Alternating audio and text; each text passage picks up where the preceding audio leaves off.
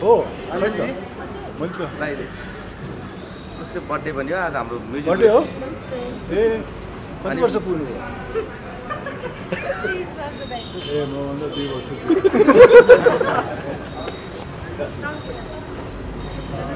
दुबईलाई जन्मदिनको शुभकामना। हे दुबईलाई जन्मदिनको शुभकामना।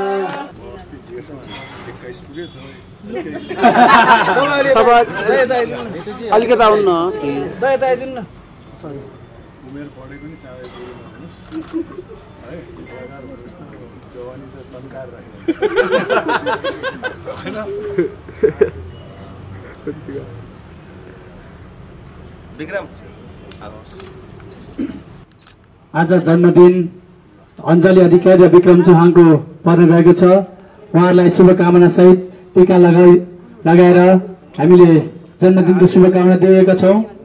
अञ्जली विक्रमलाई जन्मदिनको शुभकामना happy birthday to you both ल अञ्जली चाहिँ के भन्न- के भन्न चाहनुहुन्छ? उहाँले ढिलो भए पनि हामीलाई यो समय व्यस्तताको बावजुद हामीलाई छोटो समय दिनुभएको छ। उहाँलाई हामी धेरै धेरै धन्यवाद सहित स्वागत गर्न चाहन्छौँ।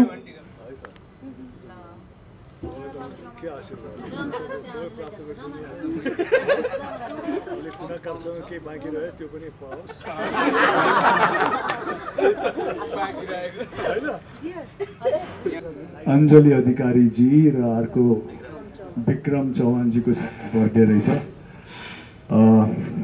र बर्थडे भएपछि अब उहाँहरूको उमेर चाहिँ नि बढ्दो छ। अफसोस उहाँहरू मभन्दा दुई वर्ष जेठो भइसक्नु भएछ। अँ, एकजना तेइस वर्ष लाग्नुभयो भनेपछि टेक्निकली दुई वर्ष नै भयो। म पछिल्लो जेठमा एक्काइस वर्ष पुगेँ।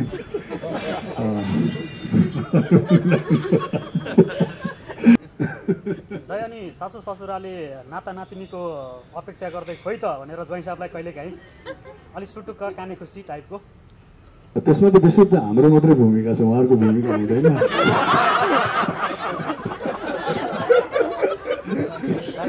निर्णय हामीले नै लिनु बाहिरी हस्तक्षेप चाहिँ यसमा हुनु हुँदैन।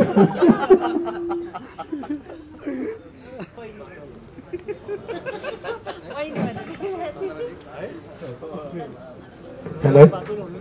हामी समयको केही अलिकति ढिला भएको कारणले गर्दाखेरि धेरै साथीहरू यस कार्यक्रमबाट बाहिरिनु भएको छ। हामीले उहाँलाई हुनसक्छ ढिलो जानकारी गराएर यस्तो हुनसक्छ। उहाँलाई खादा लगाएर फुलमाला लगाएर सम्मान गरिदिनुको लागि म यस संस्थाका अध्यक्ष शङ्कर विशी र उपाध्यक्ष सम्झनाबाट थेकीज्यूलाई हार्दिक अनुरोध गर्दछु। हाम्रो आज यो दसैँको अवसरमा शुभकामना आदान प्रदान तथा चियापान कार्यक्रम थियो र उहाँले ढिलो भए पनि हामीलाई यो समय व्यस्तताको बावजुद हामीलाई छोटो समय दिनुभएको छ। उहाँलाई हामी धेरै धेरै धन्यवाद सहित स्वागत गर्न चाहन्छौँ। बाँकी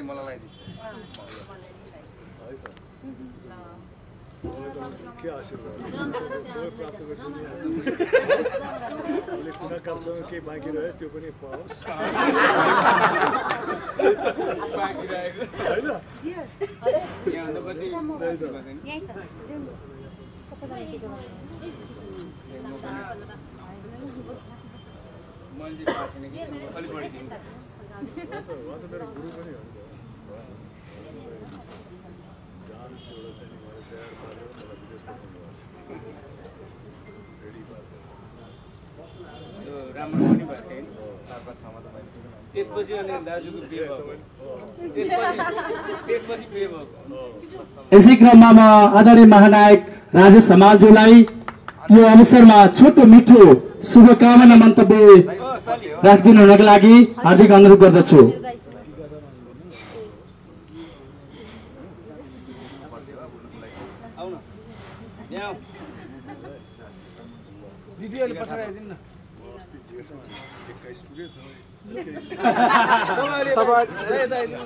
अलिकति आउनु न। आज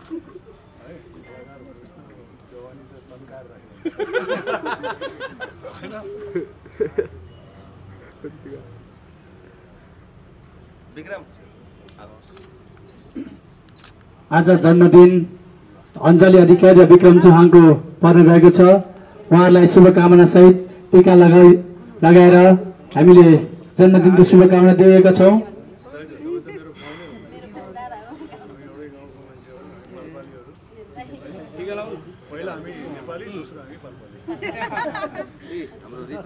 गायिका? हाम्रो गायिका। उहाँको पनि उमेर हजुरभन्दा धेरै दुई वर्ष। अक्षर एउटा है। हात आएको तपाईँको। खिच्दैछ ल, कोही टिका लाउन चाहनुहुन्छ दाइसँग भने। सबैले आशीर्वाद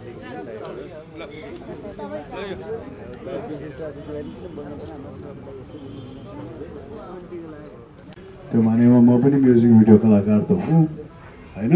एउटा पाटो त्यो पनि छ पर्सि फेरि हामी गर्दै पनि छौँ। हाम्रो शङ्कर पिसीजीसँगै गर्दैछौँ संयोगवश पर्सि एउटा गीतमा। त्यस कारण यो आफ्नै गाउँ फर्किआए नै हो।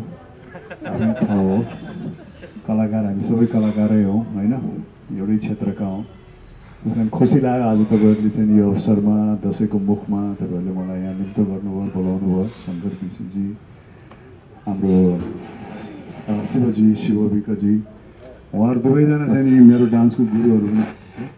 शङ्करजीले त मलाई राष्ट्रमा मात्रै नभएर देश विदेश सबै ठाउँमा नचाइसक्नु भएको छ विभिन्न स्टेजमा।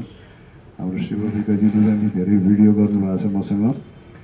र विदेशमा ननचाए पनि विदेशमा नाच्ने सामग्री चाहिँ तयार पारिदिनु भएको छ उहाँले। जुन सामग्री लिएर म विदेशमा गएर नाच्थेँ। त्यस कारण एकदमै खुसी लाग्यो र यहाँ आइसकेपछि कलाकारको चाहिँ जन्मदिन भन्ने पनि थाहा पाएँ मैले। हाम्रो अधिकारीजी अञ्जली अधिकारीजी र अर्को विक्रम चौहानजीको बर्थडे रहेछ। र बर्थडे भएपछि अब उहाँहरूको उमेर चाहिँ नि बढ्दो छ। अफसोस उहाँहरू मभन्दा दुई वर्ष जेठो भइसक्नु भएछ। एकजना तेइस वर्ष लाग्नुभयो भनेपछि टेक्निकली दुई वर्ष नै भयो। म पछिल्लो जेठमा एक्काइस वर्ष पुगेँ।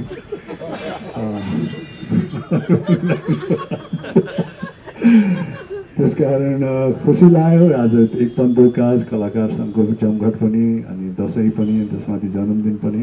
यहाँहरू सबैलाई दसैँको शुभकामना छ बधाई छ। र हामी कलाकारको चाहिँ सबैजनाको भलो होस्। एक आपसमा चाहिँ नि हामी हातेमालो गरेर सहयोग गरेर अगाडि बढ्न सकौँ। नाच्न जान्नले नाच नाच्न नजान्नलाई सिकाउँदै जाउँ होइन? त्यो भनेको मैले तपाईँलाई सिकाउँदै जाउँ भने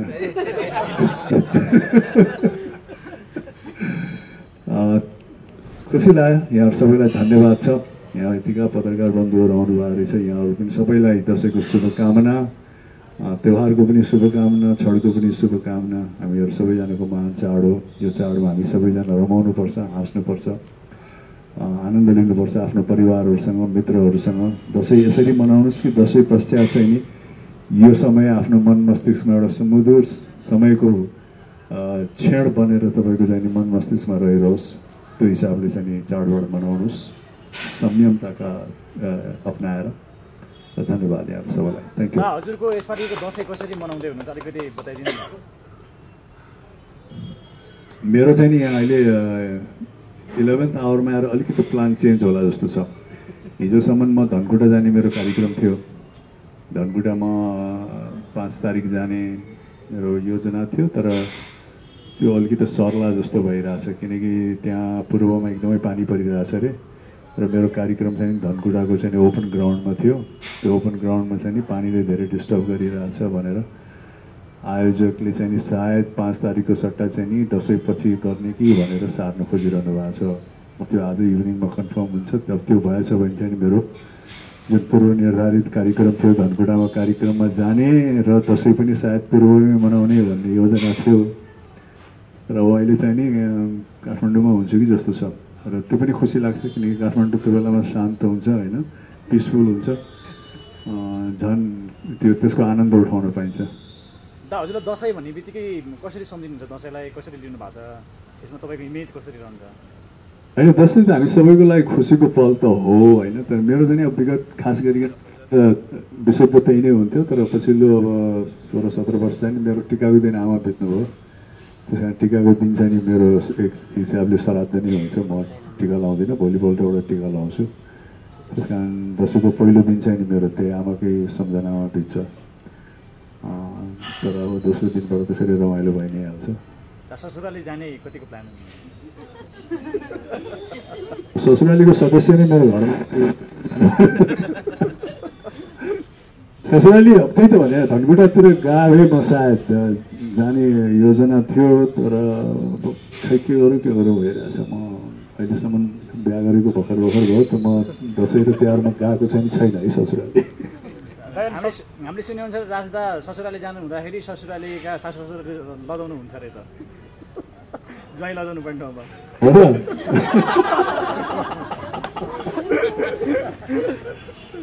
हो छैन मलाई थाहा छैन है। आज थाहा भयो। रमाइलो लाग्छ त्यो जाँदाखेरि म दसैँ तिहारमा नगएर अरू बेलामा गएको छु त्यस कारण ससुरालीमा जाँदा आनन्द आउँदो रहेछ होइन ज्वाइँको एउटा सत्कार हुँदो रहेछ मजाले खानपिन पनि हुँदो रहेछ त्यस कारण रमाइलो लाग्छ अनि सासु ससुराले नाता नातिनीको अपेक्षा गर्दै खोइ त भनेर ज्वाइँ साहबलाई कहिलेकाहीँ अलिक सुटुक्क काने खुसी टाइपको त्यसमा त विशुद्ध हाम्रो मात्रै भूमिका छ उहाँहरूको भूमिका हुँदैन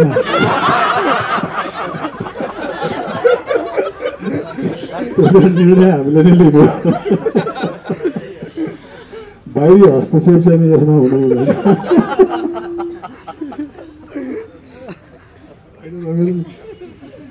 ल थ्याङ्क यू है धन्यवाद सबैलाई शुभकामना धन्यवाद अन्तिममा एक जानकारी। आर्टिस्ट खबरलाई सब्सक्राइब गरेर सँगैको घन्टीमा थिच्न नबिर्सनुहोला। जसले गर्दा हाम्रो अपडेट सबैभन्दा पहिले तपाईँले हेर्न पाउनुहुनेछ। यदि सब्सक्राइब गर्नुभएको छ भने सँगैको बेल आइकनमा थिच्न बिर्सिनु भएको हुनसक्छ। बटन थिचेर नोटिफिकेसन अन गर्नुहोला। सब्सक्राइब गरेर बेल आइकनमा थिच्नुभएका सबैलाई धेरै धेरै धन्यवाद।